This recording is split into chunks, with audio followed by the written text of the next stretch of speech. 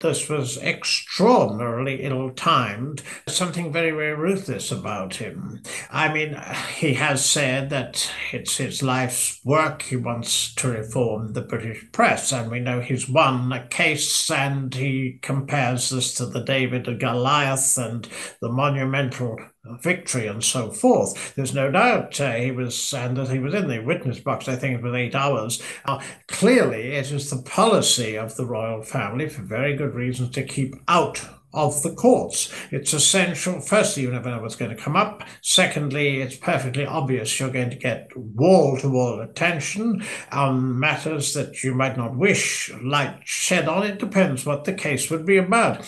Harry uh, wants it both ways. He wants to remain a royal, of course, which he always will.